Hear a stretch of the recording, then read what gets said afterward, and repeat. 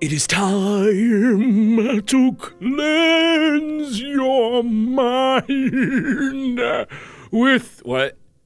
Oh, Well, your dreams are about to come true. by Tumblr.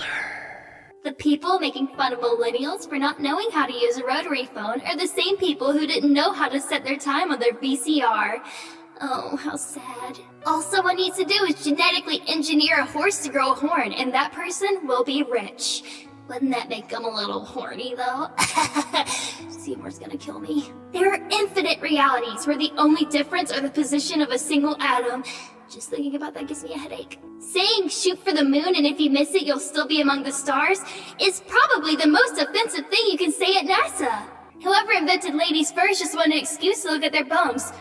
Wait, is that why everybody always wants me to go first? If you put no effort into a Photoshop, it's fine. If you put a lot of effort into a Photoshop and it's not perfect, it's bad. Being born into a rich family is like spawning next to a village in Minecraft. Unless a creeper blows it up. Falling in love during a dream is maybe the most savage way the mind can play tricks on itself. Knocking is a much lighter way of punching someone's house until they come out and stop you. And finally, Area 51 is a secret base that everyone knows about. Thus, it's unlikely that secrets are really kept there, because everybody already suspects that secrets are kept there. We're going to the raid, boys. And this has been Cyana took over my goddamn channel. But why am I not surprised? She's blue waifu.